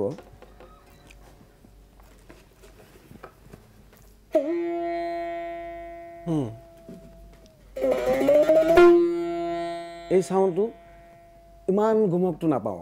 তাত মানে কি হয় যে বস্তুবিলাকৰ কাভাৰ বনাই থয় তেওঁলোকে কাভাৰবিলাক এটা ষ্টেণ্ডাৰ্ড কাভাৰ বনাই থৈ দিয়ে তাতেই চব সোমাবলৈ। এনেকুৱা ধৰণৰ তেখেতসকলৰ এশ এবুৰি মানে হেৰি থাকে সমস্যা থাকে। যাৰ কাৰণে তেওঁলোকে আমাক যিমানখিনি লাগে এইটো এক হাত হ'ব লাগে আচলতে নিজৰ মতে যোনে বজায়। তেওঁৰ লগত কথা আছে। সেই বস্তুটো তুমি নিজে কৰা মানে কাৰোবাৰ সহায় লৈছা? নাই মই মায়ে আমাৰ মায়ে খেতি কৰে। খেতিটো। কেনেকুৱা কৰে? মাৰ বয়স হৈছে। নিজে কৰি কাম কৰি খাব পৰা হৈ আছে। তো মায়ে এডাল লাও দুটা কবি এডাল এডাল বেঙেনা এনেকুৱা ধৰণৰ এখন খেতি পথাৰ আছে মোৰ ঘৰত খেতি আছে। তো লাও লাগিছে মায়ে কৈছে যে গুৱাহাটীৰ পৰা আহি লাওটো লৈ যাবি। তো মই লাও আনিবও যাব লগা হয় মাজে মাজে। লাওটো আনিব যাওঁতে মই দেখিলোঁ যে এটা লাও অলৰেডি মানে পুৰত হৈছে। মাক ক'লে এইটো কাটিব নালাগে এইটো থাকক কাকো নিদিবা। মই এটা ইনষ্ট্ৰুমেণ্ট বনাম এনেকৈ টকাৰে। কৈছে হ'ব। এই মায়ে ৰাখি থওঁতে তাৰপিছত গৈ পেলাই বাৰীৰ বাঁহ কাটি এইডাল বনাই। তুমি এইটোৱে বনাইছানে আৰু কিবা আৰু বনাইছা আছে বহুত। মই যেতিয়া মই এইবাৰ দাদা মানে আজি প্ৰায় দুবছৰত মই গুৱাহাটী ইউনিভাৰ্চিটিয়ে মোক এটা সুবিধা দিছিলে। পেকেজত অলপ অলপ কথা দেখিলোঁ। হয়। গুৱাহাটী ইউনিভাৰ্চিটিয়ে দেখি এটা মোক সুবিধা দিছিলে যে তেওঁলোকৰ ফক অৰ্কেষ্ট্ৰাখনৰ মানে পৰিচালনা কৰি দিব লাগে নেশ্যনেল লেভেলত যি পঠিয়াই সেইটো কৰি পেলাই মই ফাৰ্ষ্ট প্ৰাইজ তেওঁলোকে পাইছে তাত। নেশ্যনেল এৱাৰ্ড পাইছে। নব্বৈখন ইউনিভাৰ্চিটিৰ ভিতৰত হয়। তেতিয়া কি হয় তাত যে ফক ইনষ্ট্ৰুমেণ্টবিলাক লাগে ইমান বস্তু নাপায় যে মই কিছুমান ইনষ্ট্ৰুমেণ্ট তেওঁলোকক বনাই দিওঁ। দিলে এম মোক সোধে ল'ৰা ছোৱালীবিলাকে যে এই- এইটো কি নাম ছাৰ? মই এনেই এম এটা লগাই দিওঁ আগত। লৈ পেলাই কওঁ যে এম ঢোল। কাৰোবাক কওঁ এম তাঁৰ। এটা আচৰিত হয় এইটো কি এম তাঁৰ নেকি? এইটোৰ নাম এনেকৈ কয়? মনোজৰ তেওঁলোকক বুজাই থাকিলে। ইনষ্ট্ৰুমেণ্ট নহয় বুলি ভাবি নবজাব বা এনেকুৱা কথা পৰা মানে গতিকে এইবিলাক কৰোঁ। এনেকুৱা বিভিন্ন ধৰণৰ ইনষ্ট্ৰুমেণ্ট বজোৱা হৈছে। আৰু এটা কথাও আছে কি যে বহু লোকবাদ্য বনা বজাব পাৰি। বহুত কাৰোবাৰ যদি আৰ্থিক অসুবিধা থাকে তেওঁলোকে এইবিলাক ইনষ্ট্ৰুমেণ্ট নিজে বজাই ল'ব বনাই ল'ব পাৰে। এইটো কিনিব গ'লে থ্ৰী থাউজেণ্ড মান দাম লয়। আচ্ছা। বনাওঁতে মোৰ যদি খৰচ পৰিছে এইডালত দহ টকা আৰু তো মোৰ সেইটো তেনেকে- ঘৰৰে। অঁ, আৰু এইখিনি এশ টকা দিওঁতে লগাই দিছে মোক হেৰিয়ে চামৰাৰ দোকানত। গতিকে তেনেকুৱা এশ ডেৰশ টকাত কামটো এশ টকা। ডেৰশ টকা এটা ধুনীয়া ইনষ্ট্ৰুমেণ্ট হৈ যায়। তোমাৰ ঘৰ নলবাৰীত ক'লা অলপ আগতে ক'লা। বিহু গীত বা বিহু ফুৰীয়া গীতসমূহতো তোমাৰ যথেষ্ট দখল দেখিছোঁ। হয়। এই মুহূৰ্তত তুমি নিজে কৰা গীতৰ কিছু অংশ গাবা নেকি? বিহু কৰিছিলোঁ মই প্ৰথম বিহু কৰিছিলোঁ ৰামধেনু বুলি এখন ডিজিটেল ফিল্মত সুশান্ত মজুমদাৰ আছিলে ডাইৰেক্টৰ তেতিয়া মোক ক'লে এই ল'ৰাজন মানে মোৰ গানৰ খুব বলীয়া। কৈছে মনোজ দা তুমি হেৰি কৰা। বিহু এলবাম এটা মোক কৰি দিব লাগে। তেতিয়া মই বিহু এলবাম কৰা নাই আগতে। কৰিবৰ মন যায় কিন্তু ভাবোঁ যে ইমান নিয়ম নীতি এটা বিহু হুঁচৰি লাগে বুলি ক'লে পূৰা কমপ্লিট কৈছে আমাৰ বিহু হুঁচৰিটো এতিয়ালৈকে ক'তো ভালকৈ হোৱা নাই। মানে হৈছে কি দুই লাইন হুঁচৰি গাই লগে লগে বিহুগীত গাইছে। কৈছে কমপ্লিট হুঁচৰিটো মোক ট্ৰেডিশ্যনেল লাগিব বাকী তুমি যি কৰা কৰিবা। মই তেতিয়া মানে গৈ পেলাই কেইদিনমান গুচি গ'লোঁ শিৱসাগৰ গৈ তাত থাকিলোঁ। এটা সৰু ল'ৰা পালোঁ খুব জানে বিহুৰ কথা মানে। একদম বয়সীয়া মানুহৰ নিচিনা কথা জানে। মই মানে বাচি গ'লোঁ ল'ৰাজনক পাই নামটো পাহৰি গ'লোঁ। সি মোক বিৰাট চাথ দিলে গুৱাহাটী গুচি আহিল মোৰ লগত। আৰু এই ক্ষেত্ৰত ৰেকৰ্ডিং ৰেকৰ্ডিং কৰোঁতে কিন্তু হুঁচৰিটোত সোমনাথ দাই সোমনাথ বৰাই মোক খুব সহায় কৰিছে। সোমনাথ বৰা মানে চাপৰ তাপৰবিলাকৰ কথাবিলাক বৰ গুৰুত্বপূৰ্ণ থাকে। সেই তাতে সেইটো কৃষ্ণমণি চুতীয়াই আৰু ভিতা ভিতালীয়ে গাইছিলে গানটো। ঐ গৰু বিহু দিনাখন ঐ গৰু গা ধোৱালো। ঐ তৰালিৰ পঘাৰে বান্ধো আহা সমনীয়া ঐ হুঁচৰি জুৰু গৈ ঐ জাতিটোক কুশলে ৰাখো। ঢোলৰ চৰ্চা এটা আহে। ঐ মোৰ ধন কলীয়া আলাসৰে দেৱতা নীলগতা চিলা ৰৈ হে কলিমতিক লগ পাই কঙিলিক লগত লৈ দাৰা দিৰি দিৰি দিৰি দিৰি। ধন চেঙৈ ধনৰ মলা হাচতি ৰং চং ফুলৰ মলা। চেনি মাই চেনি মাই চেনি মাই ঐ নাদিৰৰ ঘৰলৈ কেনি যায় ঐ। গৈ থাকা গৈ থাকা পাবা গৈ কাষ নাদিৰৰ জীয়েকে লগাব মাত। ইটানি সিটানি কুচিয়া এহালি এহালি কুচিয়া। ঐ আহোমনি জীয়েকে কেঁকুৰা খুৱালে কুচিয়া খুৱালে ভাতৰে লগতে দি। হা! চি চি চি লালৈ ভাদৈ চকলি লালৈ ভাদৈ চকলি বিলাতী দেশলৈ যায়। ঐ ভাতি গমনে মণিৰাম দেৱানে মণিৰাম দেৱানে তেলে পাই পিছলি যায়। এনেকুৱা আছিলে। এতিয়া কি ক'ম তোমাক? তুমি ইমান প্ৰতিভাৰ অধিকাৰী তুমি সংগীত আগতেও কৈছোঁ মই অলপ আগতেও কৈছোঁৱেই। এতিয়া এটা প্ৰশ্ন কৰিম মই খন্তেক পিছত।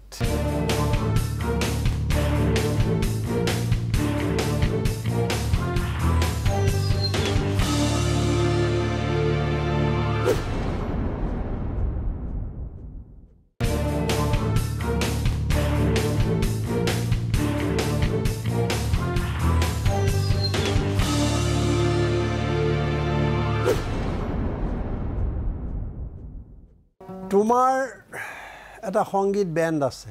হয়। মঞ্চত যেতিয়া হাই প্ৰফাইল হাই প্ৰফাইল বুলিয়ে কৈছোঁ আৰু জনপ্ৰিয় শিল্পীসকলৰ অনুষ্ঠান থাকে তোমাৰ এনেই সঁহাৰিবোৰ কেনেকুৱা তোমাৰ অনুষ্ঠানবিলাকত? খুব ভাল এতিয়ালৈকে য'তে গৈছোঁ বিৰাট ভাল পাওঁ ভাল। পাইছোঁ। সেইকাৰণে মই সুধিছোঁ যে তুমি মাটিৰ গান বুলি কৈছোঁ তোমাৰ গান। হয়। এই মাটিৰ গানেৰে কেনেদৰে দৰ্শকক ধৰি ৰখাৰ তোমাৰ কৌশলটো কি ৰণনীতি কি? হয়। মই আমি যেতিয়া মঞ্চত উঠোঁ তাৰমানে দৰ্শকৰ মাজৰ পৰা চিঞৰ বাখৰ আহে। যে অমুকটো গান লাগে যিবিলাক চলি থকা গানবিলাক কয় এইটো কিন্তু গাবই দিয়ে আৰু উঠোতেও কি কৰে কমিটিৰ মানুহবিলাকে বেছ আমাক মানে এটা এনেকুৱা এটা হেঁচি ধৰে যে এইবিলাক কিন্তু আপোনালোকে যদিও আপোনালোকৰ ফক বেণ্ড তথাপিও এইকেইটা গান গাই দিব একো নহয় এনেকৈ কয়। আমি হ'ব হ'ব বুলি কওঁ। আৰু মঞ্চত উঠোঁ উঠি পেলাই অকণমান লাহেকৈ মানে উলিয়াওঁ যে কি কি গানবিলাক মানে আপোনালোকৰ তাৰ সেই থলুৱা যি গান থাকে প্ৰথম সেইটো গানেৰে আমি আৰম্ভ কৰোঁ। কৰোঁতে তাৰপিছত ধৰি ল'লোঁ যদি অনুষ্ঠানটো আমি কৰিছোঁ ধৰক তেজপুৰত। তেজপুৰত অনুষ্ঠানটো কৰোঁতে তাত তাত ভাল কি তাত কিছুমান মানুহ আছে কবিতা পাগল মানুহ বহুত। তাতে আমি এনেকুৱা কৰোঁ যে আমি আজি লোকগীত গাম তাৰ আগতে এটা কবিতা পাঠ কৰি আপোনালোকক শুনাব আৱেগ বা অনুভূতি বিৰিণাৰ আগত এৰি থৈ আহিলোঁ বান্ধৈ বিৰিণাৰ আগত এৰি থৈ আহিলোঁ বাহি। দূৰৰ দুপৰীয়া কৰে গৰখীয়া ফুদি ফুলালি ৰ'দৰ সোণোৱালি পাহি। কিন্তু গানৰ নামততো এতিয়া এটা বিৰাট হৈছই হৈছে এইটো মই কোৱা কথা নহয় লতা মংগেশকাৰেও কৈছে যে নইজ। গানৰ নামত এতিয়া হুলস্থুল বেছি হৈছই বেছি। হৈছে বেছি। তাৰ মাজত তোমালোকে কিবা এই ধৰণে মই সেইকাৰণে প্ৰশ্নটো কৰিছোঁ যে এইটো ধাৰা কেনেকৈ আগুৱাই নিব পাৰিছে তোমাৰ কৌশলটো কি?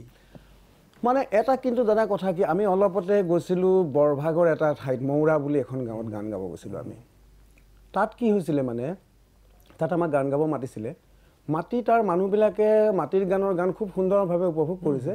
কিন্তু কিছুমান উঠি অহা নতুন ল'ৰা ল'ৰা কিছুমানে ধৰক কম ক'ৰবাত পোন্ধৰ বিছজন ল'ৰাই বস্তুটো খুব তেওঁলোকৰ অন্তৰৰ পৰা বিচৰা নাই। তেওঁলোকে ভাবিছিলে যে আমি এটা এতিয়া ধৰক দিকচুৰ গান গাই আমাৰ ভৃগুই গান গাই যি মডাৰ্ণ চং গাই। দিকচুৰ পোহৰলৈ অনাত তোমাৰ অৱদান আছে? দিকচু মোৰ খুব ঘৰুৱা ল'ৰা ভাতৃৰ নিচিনা। গতিকে দিকচু প্ৰথম যেতিয়া কলেজত পঢ়ি আছিলে তেতিয়া মই লগ পাইছিলোঁ মোৰ তাত আহিছিলে যে মোৰ তাৰমানে কেনেকৈ কেনেকৈ আগুৱাই যাব পাৰি তো এই ক্ষেত্ৰত মই যিমান পাৰিছোঁ নিজৰ ফালৰ পৰা দিকচুক সহায় কৰিছোঁ এই কথাটো পাতিছিলোঁ। যে এই অনুষ্ঠানটো কেনেকৈ ধৰি? সেই গাঁওখনত এটা আমি এটা অভিজ্ঞতা হ'ল আমাৰ যে তাত তেওঁলোকে মানে অলপ হাই ভল্টেজ গান বিচাৰিছে মই। যিটো কৈছোঁ হুলস্থুল তাৰপিছৰ। পৰা এতিয়া আমি কি কৰিছোঁ নেক্সট বেলেগত গ'লে কমিটিকো অলপমান সুধিও লওঁ। যে আমি যে আমি গানবিলাক যে কেনেকুৱা গান গাওঁ আপোনালোকে ভালকৈ জানেনে নাই? আৰু আমি এনেকুৱা গানহে গাম বুলি কওঁ। কমিটি হ'ব বুলি কয়। তথাপিও গৈ পেলাই কিন্তু আমি সেই স্থানীয় কিছুমান স্থানীয় ডেকা চামকো অকণমান ভাল লগোৱাৰ কাৰণে দুই এটা তেনেকুৱাকৈ অকণমান আমি আচলতে বস কৰি ল'বলৈ চেষ্টা কৰোঁ এতিয়া। নহ'লে নহয়। নহয় তাৰ অকণমান আপোনালোকৰ আপোনালোকে সকলোৰে প্ৰিয় কবি হীৰেণ ভট্টাচাৰ্যৰ কবিতা এটা। আপোনালোকৰ বাৰু পাঠ কৰিবৰ মন নাযায়নে তেতিয়া কয়, "আহ, যায় যায় বুলি। কয়। বিৰিণাৰ আগত এৰি থৈ আহিলো বাহি। মোৰ বান্ধৈ এৰি থৈ আহিলো বাহি। এই কবিতা মই গান কৰি গাইছোঁ।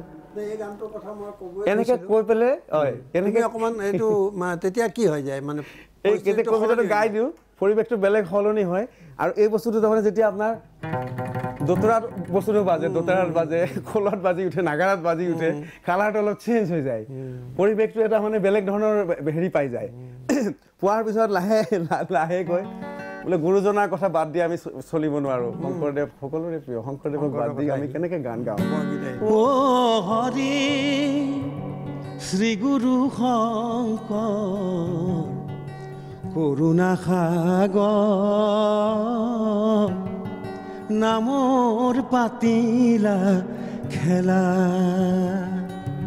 হৰি নামৰ কল, আজি দীৰ্ঘ ভেল কলি লোকক তৰিলা এ গুৰু অ গুৰু গুৰু ও হৰি শ্ৰী গুৰু শংকৰ কৰুণা সাগৰ নামৰ পাতিলা খেলা। তেতিয়া কিন্তু মানুহখিনি কোনো এটা ৰীতিটো এই ৰীতিটোত অলপ মানুহবিলাক ভুল যায়। তাৰপিছত মানে খুব প্লিজ হয়। আৰু কিন্তু ধুনীয়াকৈ কয় যে বাবা বৰ ভাল লাগছে দেই গানবিলাক। আৰু আমিও খুব উৎসাহ পাওঁ যিটো আশা লৈ যাওঁ। মানুহবিলাকে আমি তেওঁলোকক গান শুনোৱাৰ কাৰণে আমি যাওঁ। তেওঁলোকে যেতিয়া গান শুনি ভাল পোৱা বুলি কয় সেইটোৱে আমাৰ কাৰণে পুৰস্কাৰ হৈ থাকে আৰু। তোমাৰ পৰিকল্পনা তোমাৰ সৃষ্টি বহু কথা শুনিলোঁ। এতিয়া তোমাৰ মইতো কৈছোঁৱেই বাৰে বাৰে মোৰ ক'ব মন গৈ আছে তুমি ছবি আঁকা তুমি গীত লেখা গীত সুৰ কৰা তুমি সংগীতৰ বিভিন্ন ধাৰা তুমি লোকগীতৰ এটা মহান কামত নিজক ব্ৰতী কৰিছা নিজকে তুমি তাত যথেষ্ট আন্তৰিকতাৰে তুমি কাম কামবোৰ কৰিছা তুমি মামণি বাইদেউ লৈ পেলাই বোধকৰ ছবি আঁকিছিলা মোৰ যিমান দূৰ মনত পৰে। আৰু তাতকৈ ডাঙৰ কথা যে আমি যেতিয়া স্বাধীন কৰিছিলোঁ অসমৰ উত্তাল দিনবিলাকত তুমি পৰাগ দাসৰ বুধবাৰৰ কাকততো কলেজীয়া ছাত্ৰ হিচাপে কাম। কৰিছিলা। আগানত তুমি আছিলা তেতিয়া তোমাক লগ পোৱা। লগ পাইছিলোঁ আৰু তেতিয়া ইমান ঠিক। মনত আপোনালোকে একদম সফল ডেকা। গতিকে তোমাৰ দেখিছোঁ মই বিভিন্ন ক্ষেত্ৰত তোমাৰ বৰ সবল খোজবিলাক। কিন্তু এই গোটেইবোৰৰ মাজত তোমাৰ পৰিচয় বহুত মই গোটেইখিনি কৈ শেষ কৰিব পৰা নাই। যে তোমাৰ আচলতে নিজকে এতিয়া কি বুলি ক'লে ভাল লাগে বেছি? মোৰ নাম তুমি গাঁৱৰ পৰা অহা ল'ৰা এটা। হয়। সেই পৰিৱেশত মই বাৰে বাৰে কৈছোঁ গাঁৱৰ পৰা কথা কাৰণ ময়ো আহিছোঁ গাঁৱৰ পৰা। হয়। এই গাঁৱৰ পৰিৱেশৰ পৰা আহি তুমি চহৰত খোপনি পুতিছা। খোপনি পুতাই নহয় আজি মনোজ শৰ্মা বুলিলে গুৱাহাটী চহৰত সকলোৱে জানে। আৰু ইয়াত তুমি অকল এটা দিশত নহয় সকলো দিশতে তুমি খোজ পেলাইছা। এইটো কম প্ৰতিভাৰ কথা নহয় কিন্তু তাৰ মাজত তোমাৰ কোনটো পৰিচয় বেছি ভাল লাগে? মই মোৰ এটা পৰিচয় চবতকৈ ভাল লাগে। অনিল শৰ্মা আৰু সত্যদেৱীৰ ল'ৰা মনোজ শৰ্মা এইটো প্ৰথম পৰিচয়। দেউতা নাই এতিয়া আৰু দ্বিতীয় পৰিচয় কথাটো হৈছে কি যে মোক মোক এজন এজন সাংস্কৃতিক কৰ্মী হিচাপেই মানুহে পাওক। মই সাংস্কৃতিক জগতত বিভিন্ন ধৰণৰ কাম যিবিলাক মই কাম কৰোঁ মোৰ ভাল লাগে আচলতে কৰি। মোৰ এনেকুৱা নহয় যে মই কিয় কৰোঁ ইমান লাইনত কাম মই কৰাৰ কি দৰকাৰ? এটাকেতো ভালকৈ কৰিব পাৰি মোৰ কেতিয়াবা মায়েও কয় বাবা এটাকে নকৰ কিয় ভালকৈ বুলি কয়? কিন্তু নহয় কথাটো মই থাকিব নোৱাৰোঁ কিবা এটা দেখিলে মই ৰান্ধি বিৰাট ভাল পাওঁ। আগ্ৰহ। ৰান্ধিব মন যায়। কেমেৰা যে তেখেতে কেমেৰা কৰি আছে মোৰ এনেকুৱা লাগিছে যে কেমেৰা কামটোৱে কৰিম নেকি আৰু তোমাৰ। আগ্ৰহটো সাংঘাতিক। লাইট কৰি থাকিলে যেতিয়া লাইট কৰে মঞ্চত নাটকত মই এনেকুৱা লাগে যে আজি মই এক্টিং নকৰি লাইট কৰিব পাৰিলে এইটো এইটো এতিয়া বস্তুটো হৈছেগে। এইটো কিমান ভাল বেয়া তোমাৰ ভালকে নাজানো বহুত নাই এইটো একো বেয়া কথা নহয়। তোমাৰ সমৃদ্ধ কৰিছে তোমাৰ অভিজ্ঞতা হৈছে। কিন্তু দাদা মই এটা ভাল সাংস্কৃতিক কৰ্মী অসমৰ বুলি ভাবোঁ মই। থলুৱা গীত মাতক আগুৱাই নিয়াৰ কাৰণেই তোমাক ৰাইজে মনত ৰাখিব। আৰু আপোনালোকে ভালকৈ জানিব যে আমাৰ যিটো এতিয়া বয়স মোৰ যিটো বয়স মই ভাবোঁ যে এইখিনি কথা নজনাকৈ কিন্তু একো কাম কৰিব নোৱাৰে। যিকোনো এটা এতিয়া মই ভাবোঁ এতিয়া মই এটা কাম কৰিব লাগে যিটো কামত মোৰ গোটেইখিনি সমলৰ দৰকাৰ হ'ব। খুব ভাল কথা কৈছা। এইটো সেইটো কাৰণে এইখিনি খুব ভাল কথা। কৈছা। আজি আমাৰ এতিয়া ইমান মানে ভাল লাগিছে কথাবোৰ তোমাৰ শুনিবলৈ আৰু তোমাৰ ইমান অভিজ্ঞতা প্ৰচুৰ অভিজ্ঞতা। গতিকে তোমাৰ পৰাতো কৈ থাকিলে কৈ থাকিলে আমাক কেইবা ঘণ্টাও লাগিব। কিন্তু আৰু ইমানটো সময়ৰ কথা নাথাকিব। গতিকে আমি চমুৱাই আনিবলগীয়া হৈছে। হয়। তুমি হিৰু ভট্টৰ গানটো গালাই অলপ আগতে দুটা লাইন। ঠিক ঠিক নৱকান্ত বৰুৱাৰো গান কৰিছা তুমি নৱকান্ত বৰুৱা বিশিষ্ট গীতিকাৰ হয় তেখেতৰ তেখেতৰ গান দুটা লাইন কোৱাচোন আমাৰ সময় বৰ কম তেখেতৰ। আচলতে কি হৈছিলে গান কৰা নাছিল তেখেতৰ এখন চি ডি ওলাইছিলে। লয়াৰ্ছ বুক ষ্টলে কৰিছিলে এইটো য'ত মানে তেখেতৰ কবিতা পাঠ কৰিছিলে নয়ন প্ৰসাদ? নয়ন দা আৰু এজনী এগৰাকী মহিলাই পাঠ কৰিছিলে ছোৱালী এজনীয়ে আৰু তাত মই তাৰ বেকগ্ৰাউণ্ড মিউজিকৰ কাম কৰিছিলোঁ। আৰু সেই কবিতাবিলাকক মাজে মাজে ভোকেলৰ আকাৰত কিছুমান মানে তুমি আবৃত্তিকাৰ সেই অৰ্থত। অকণমান তেনেকৈ দুটা এটা তুমি কৰিছিলোঁ। আবৃত্তিকাৰ আৰু এটা পৰিচয় ওলাই আহিলে। আচ্ছা শেষত মই বহুত কথা শুনিলোঁ কিন্তু মই মোৰ এজন প্ৰিয় গীতিকাৰ আছে কবিৰ সুমন। আমাৰ কালিকা প্ৰসাদ ক'লোৱেই সকলোবোৰ আছে আমাক সদায় তেওঁলোকে নতুন নতুন কথা কৰিছে। হয়। কিন্তু নচিকেতা এটা সুকীয়া পৰিচয়। সুকীয়া পৰিচয়। অসমলৈ আহিছে বহুত। আমাৰ অসমৰ সকলোৰে আৰু প্ৰিয়। আৰু তেওঁ বৃদ্ধাশ্ৰম মই বক্তৃতাবিলাকতো বৃদ্ধাশ্ৰমৰ গানৰ কথা কওঁ। ডাক্তৰক লৈ গান কৰিছে তেওঁ। কৰিছে। ৰাজনীতিবিদবিলাকক চোঁৰৰ বাচ্চা বুলি কোৱাৰ সাহস কৰিছে তেওঁ। এনেকুৱা আৰ্টিষ্ট খুব কম আছে। ভাৰতবৰ্ষতে- শেষত মই তোমাক এটা নচিক এটাৰ গীত শুনাবলৈ অনুৰোধ কৰিম। হয়। নচিকেতা মোৰ বৰ ভাল লাগে। তেখেতৰ এটা সময়ত বিৰাট ভক্ত আছিলোঁ মই। মই সেইকাৰণে মই মোৰো মই খুব ভাল পোৱাৰ কাৰণে তোমাৰ পৰা শুনিব খুজিছোঁ। যেতিয়া কেছেটৰ সময়ত তেখেতৰ এলবামবিলাক ধাম ধুম ওলাইছিলে বৃদ্ধাশ্ৰম বহুত পিছত কৰিছিল দেৰিকৈ যেতিয়া আমি মই কলেজত পঢ়োঁ আৰু কেছেট কিনি পেলাই শুনো। গান শুনি পেলাই তেতিয়া এটা এনেকুৱা ভাৱ হৈছিলে যে কেৱল গায়কী আৰু সংগীত আৰু কণ্ঠই নহয় লিৰিক্স যিটো লিখা যিটো তেওঁৰ লেখা তেওঁৰ সুৰ গায়ক আৰু সাহিত্যিকসকলৰ সাহিত্যিকসকলক ভাল লগা হৈছিলে তেতিয়া তেওঁৰ গান শুনিয়ে। এতিয়া আমি নচিকেতাৰ গীত তুমি শুনাবা তেওঁ কৈছিলে যে মই কয় এটা। কথা কৈ লওঁ যে নচিকেতাৰ গীত শুনাবা সেইটো গীত শুনাৰ পিছত আৰু তোমাক আৰু এইবোৰ কথা নাপাতো মই। হয়। তাৰ আগতে মই তোমাক এবাৰ ধন্যবাদ জনাব খুজিছোঁ যে তুমি যে আজি আমাৰ অনুৰোধ ৰক্ষা কৰি ইয়ালৈ আহিলা আৰু ইমানখিনি সময় দিলা। তোমাৰ ব্যস্ততা জানো মই বহুত কাম থাকে তোমাৰ। সেইকাৰণে মই তোমাক অনুষ্ঠানটো গানৰে শেষ হৈ যাব। হয়। তাৰ আগতে মই তোমাক ধন্যবাদ জনাইছোঁ এই অনুষ্ঠানলৈ অহাৰ কাৰণে। আৰু মই প্ৰথমতে আপোনাক নমস্কাৰ জনাইছোঁ মোৰ দাদা হিচাপে। আপোনাক বৰ ভাল পাওঁ। বহু কেইজন আগশাৰীৰ ব্যক্তিৰ ভিতৰত আপোনাকো মোৰ খুব ভাল লাগে। আৰু আজি এই কথাটো অৱশ্যে বহুতে ভাবিব পাৰে আজি নহয় তুমি আগতেও মোক ৰাস্তাটো আগৰ আগৰ পৰাই মই মই গম পাওঁ। কোনো আপুনি পাহৰি গৈছে আমাক বহুত দিন আগত লগ পাইছে। আৰু এনেকুৱাকৈ আপোনালোকে আমাক যদি আমাৰ লগত আলোচনা কৰে কথা পাতে আমি পৰা মানে খুব আনন্দিত হওঁ আচলতে। আমাৰো কিছুমান দায়িত্বও বাঢ়ে তেতিয়া। মই মোক লৈ মই কেৱল কোৱা নাই গোটেই মোৰ সমনীয়া সকলোৱে। গতিকে এই ধৰণৰ আলোচনাই হয়তো আমাক আগুৱাই যোৱাত সহায় কৰিব পাৰে অকণমান। বহুত ধন্যবাদ তুমি এতিয়া গানটো গোৱা। ভিড় করে হিমারত চুরি করে নিয়ে যায় বিকালের সোনারত তারপর চুরি গেলে বাবুদের ব্রিফকেস অথবা গৃহিণীদের সোনার নেকলেস সকলে সমস্যরে চিৎকার করি বলে, সোর সোর সোর। গানটা বিরাট ভালো লাগে। প্রতিদিন চুরি যায়, দিন বদলের সোনা। আমাদের সুরি যায়, আমাদের ভালোবাসা। নেকলেছডাল চোৰ কৰি লৈ গৈছে, হাহাকাৰ লাগি গৈছে। ব্ৰিফ কেছটো লৈ গৈছে, হাহাকাৰ লাগি গৈছে। একদিন একো নকৰাকৈ চাধা মাৰি বহি আছে, ৰাস্তাত। এটা দিন চুৰি হৈ গ'ল, কাৰো গাত লগা নাই। কি ধুনীয়া কথা ভিড় করে হিমারত, চুরি করে নিয়ে যায় বিকালের সোনারত। তারপর চুরি গেলে বাবুদের ব্রিফকেস অথবা গৃহিণীদের সোনার নেকলেস। সকলে সমস্যরে চিৎকার করি বলে সোর সোর সোর প্রতিদিন চুরি যায় দিন বদলের সোনা। আমাদের চুরি যায় আমাদের ভালোবাসা। সংঘাত, প্রতিঘাত, দেওয়ালে দেওয়ালে আকাশ। প্রতিরোধ। তারপর সুরি গেলে বাবুদের ব্রিফকেস অথবা গৃহিণীদের সোনার নেকলেস তথাপি সমস্যরে চিৎকার করি বলে, সোর সোর সোর।